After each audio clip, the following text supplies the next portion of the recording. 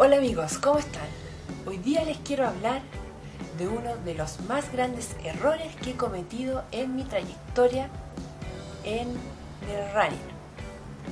Pero antes de empezar, por favor, suscríbete por acá, dale dedito para arriba y sígueme en mis redes sociales que se las dejo en el primer comentario. ¿Ya se suscribieron? Bueno, si ya se suscribieron, demos el inicio al video. Una de las más grandes preguntas que nos planteamos al correr, sobre todo cuando no tenemos asesoría, es si correr lento o correr más rápido, ¿cómo quemaremos más calorías? ¿Cómo bajaremos más de peso más rápido? Pero la pregunta correcta sería, ¿cómo bajar de peso y en qué frecuencia cardíaca, en qué nivel de exigencia? Antes de responder esta pregunta de cómo, cómo quemamos grasa o cómo bajamos de peso corriendo, les voy a contar mi historia de por qué fue un gran error durante mucho tiempo. Resulta que cuando planteaba mi plan de entrenamiento lo sacaba de internet, de alguna aplicación, y ellos me iban colocando ciertos ritmos de, kilómetros. Entonces iba entrenando y cada, y cada día me iba exigiendo mucho más. O sea, en mi mente quería, en mi mente lo que yo quería era que cada día tenía que correr a un ritmo más rápido. Que si no lo hacía, no, mi, mi entrenamiento no estaba funcionando. Entonces, eso llevó a que sobrecargara mucho los entrenamientos, no, no tanto en la cantidad de, de kilómetros en la semana, de sobrecarga de kilómetros, sino que me estaba cansando demasiado y todo esto se llevaba a, que, a largos periodos de recuperación. Entonces, ¿qué pasaba con esto? Al exigirme todos los días, al, a decirme, Maca, tienes que correr más rápido. Si ayer corriste a 7 el kilómetro, mañana tienes que estar corriendo a, 5, a 6.30 y así sucesivamente cada vez más rápido. Entonces, ¿qué llevó a esto? O sea, el estrés del entrenamiento, eh, posibles lesiones también a futuro. Y más encima, tú al ritmo de entrenamiento, llevando un plan, que lo más probable es que, y te lo aseguro, que no está adaptado a ti, ¿qué pasa? No ves resultados. ¿Quieres bajar de peso? No ves que estás bajando de peso, sigues con, con la misma guata, como se diría, el mismo rollito, como se diría en Chile. Sigues entrenando y no bajan los tiempos. Sigues entre, entrenando no mejoras. Sigues entrenando y estás más estresado.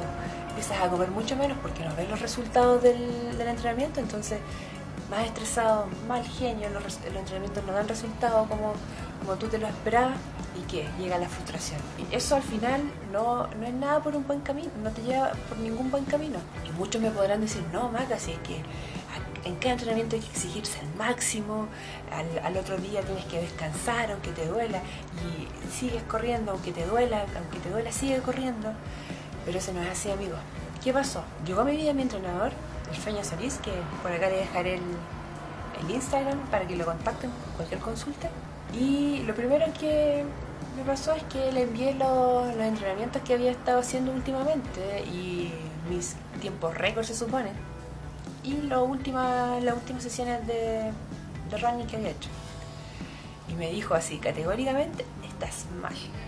Estás en pésimo estado físico para alguien que te diga eso y tú que sales a correr, haces ejercicio tres veces a la semana y después haces trekking, haces trail running, o sea, estás y te digan que tienes mal estado físico, pero ¿qué he estado haciendo mal? Entonces ahí él me explica que aunque yo estaba corriendo en tiempos promedio, no sé, 5 kilómetros en 29 minutos, mi frecuencia cardíaca, mis pulsaciones máximas al hacer esa actividad eran demasiado altas. Entonces, ¿qué estaba haciendo? Yo no importaba que corriera a un ritmo que para mí era lento, me estaba exigiendo mucho el corazón. Entonces, ahí está el primer paradigma que había que romper de ese running amateur, de decir ya, no, vamos calmadamente, esto, todo lo que había hecho, lo que estaba haciendo anteriormente estaba malo. Hay que seguir los consejos tal cual como lo dice el entrenador para mejorar. Ya, ahí empezamos a correr más lento y sí, hubieron resultados a corto plazo. Entonces, a consecuencia que estaba corriendo un ritmo tan alto, en mis pulsaciones cardíacas, no estaba corriendo, casi nunca estaba entrenando en zona aeróbica, casi siempre estaba entrenando en zona anaeróbica. Entonces me dijo, el otro error que estabas cometiendo al entrenar a frecuencias cardíacas tan altas es que no estabas quemando grasa. O sea, si tú lo que buscas al empezar a correr es bajar de peso, tienes que correr en zona aeróbica para poder quemar grasa. Entonces, lo que yo hacía y lo que y por qué no bajaba de peso era porque me consumía mis carbohidratos en el día y al entrenar al final del día me llevaba, me, me, me consumía todos los carbohidratos del día. Entonces entrenaba, mis cargas de carbohidratos del día me la consumía en el entrenamiento. Entonces no quemaba grasa.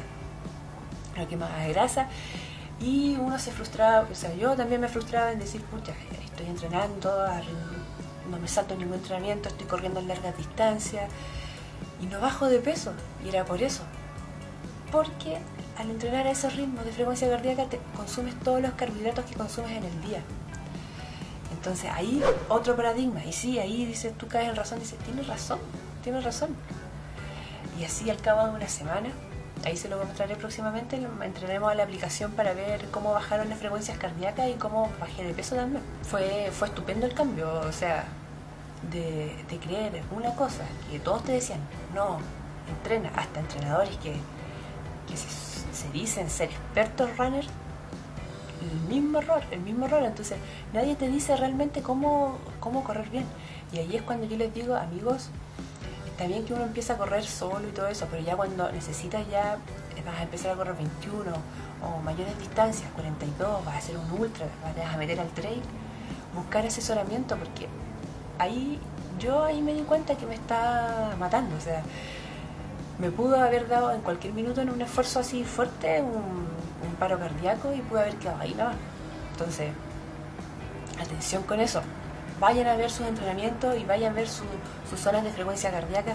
Y obviamente que lo que yo tengo por lo menos ahora es solamente un cálculo aproximado de lo que te da la aplicación según tu edad y, y tu sexo.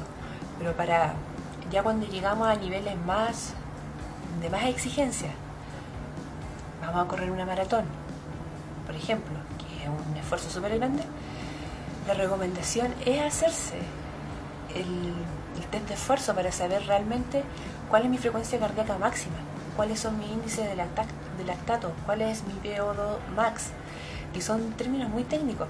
Si no los conocen, por favor coméntenme abajo y yo les doy, le grabo un video explicándole más o menos de qué será, que es súper importante. Yo hace poco también empecé a relacionarme con estos conceptos y realmente sirven muchísimo. Entonces, ¿qué pasó allá? en las primeras semanas empecé a entrenar según lo que me decía mi, entrenador. Y empezaron a llegar los resultados, que eso fue lo mejor. Empezaron a llegar los resultados y vamos a ver las estadísticas que teníamos en las aplicaciones antes de empezar a entrenar y después. Vamos a ir primero a la aplicación de Garmin. Yo empecé a entrenar con mi entrenador, Fernando Solía, aproximadamente la segunda semana de los fines de enero me parece. Vamos a ver acá ya en el, calendario. Vamos a ver las entrenos. No, esto no. ¿Dónde están las carreras? Actividades. Carreras. Eso, ahora en cuarentena no, no hay corrida hace más un mes. Vamos a ver eh, en un año ya. Vamos a ver, parece que empezamos en en febrero empezamos.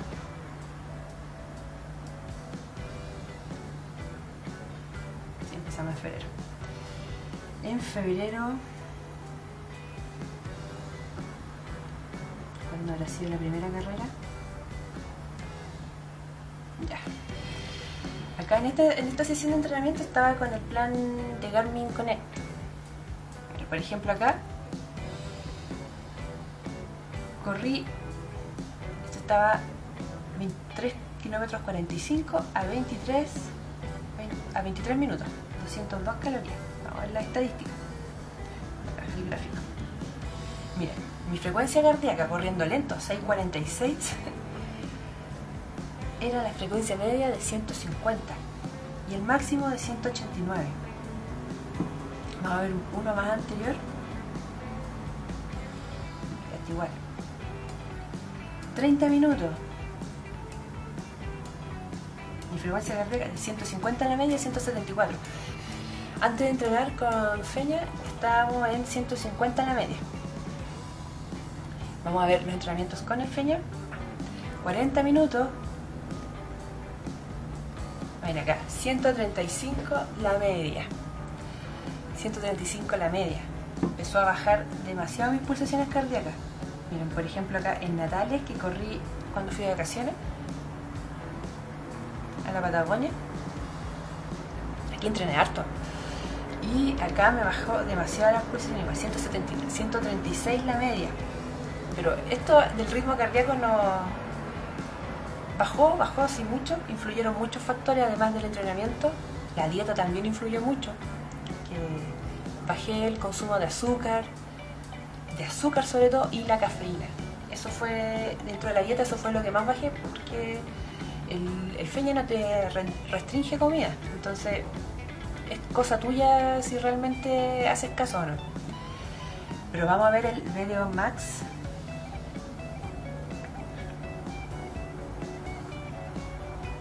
Hace 12 semanas, estamos en 43 horas. Miren, acá pueden ver desde el 2 de febrero, o sea, desde febrero, cómo empezó a subir el video 2 Max. Y quedamos con 43. Me parece que lo máximo que llegué fue a 45.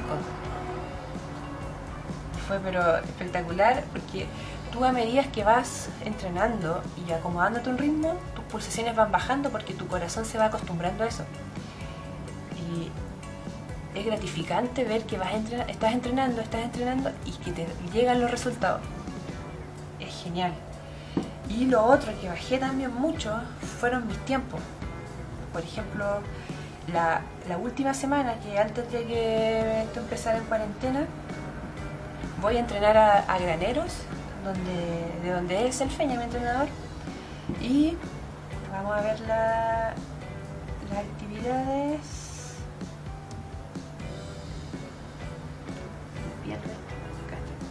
Actividades, carrera,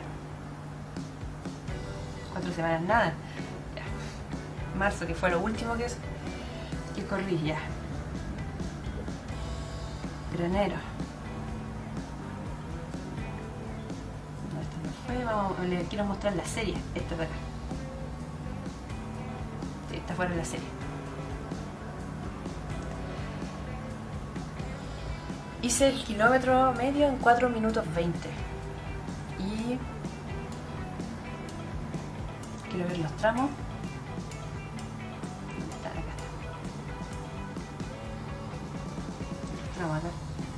Acá está. 4.31 fue un kilómetro.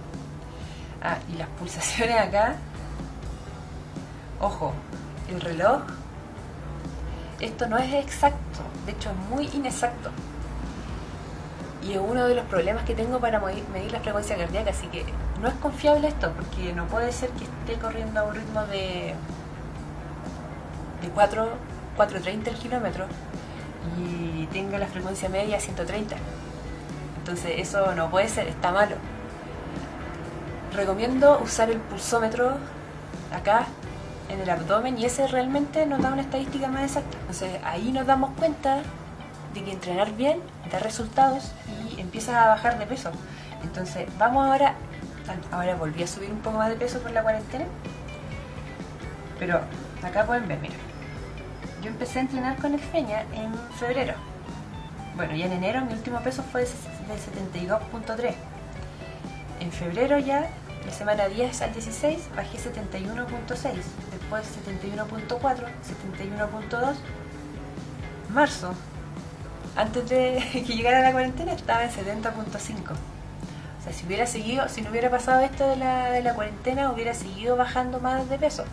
Y lo bueno que no fue una baja de peso así drástica, sino que yo me daba cuenta que estaba perdiendo grasa, estaba con mi ejercicio de fortalecimiento y estaba ganando músculo también. Yo sentía, me sentía mucho más fuerte.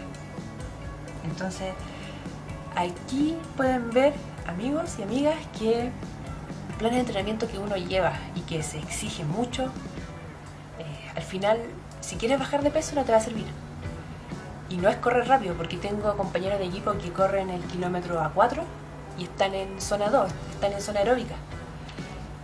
Una persona que quizás está en sobrepeso, caminando ya está en zona 2. Entonces, fijarse en las pulsaciones cardíacas y en lo que te dice la fórmula normal para calcularla según tu edad. Entonces, según eso, tú deberías guiarte para, para poder entrenar. Si no saben cómo calcular su frecuencia máxima cardíaca, no tienen pulsómetro ni tienen una aplicación, déjenme su comentario acá y yo les hago un video cortito de cómo se hace, cómo se calcula. Que algo súper estándar. De hecho, es muy poco fiable también, pero hay que empezar por algo. Nunca pensé, pensé correr el kilómetro a 4.30. Lo máximo que había llegado era a 4.59, era mi récord cuando empecé a entrenar con el Feña. Y obviamente se los recomiendo. Cualquier consulta que quieran hacerle a él, de, rutina de entrenamiento, de cómo hacerlo, acá en su Instagram, él responde, él le, lo va a guiar. Y si quieren contratar su servicio también, es totalmente accesible. Él es de graneros, pero su método es tan, tan fiable que él es muy personalizado. O sea, te llama por teléfono, te manda los videos, te, te manda mensajes de WhatsApp, te hace videollamadas si que necesita otra cosa. Es un entrenador con el que puedes contar al 100% y realmente se los digo que le va, le va a dar resultado. Así que amigos, este fue mi, mi aporte del día de hoy. Quería contarles esto porque fue durante mucho tiempo un gran error que estaba cometiendo y en sí no me estaba haciendo bien, bien para mi salud. Y al final la mayor parte me entró este video porque dice, ya, ¿cómo voy a bajar de peso? Pero realmente es cómo vas a cuidarte corriendo. Y, y eso amigos, así que a suscribirse, darle dedito para arriba, seguirme en las redes sociales y nos vemos en un próximo video. Adiós.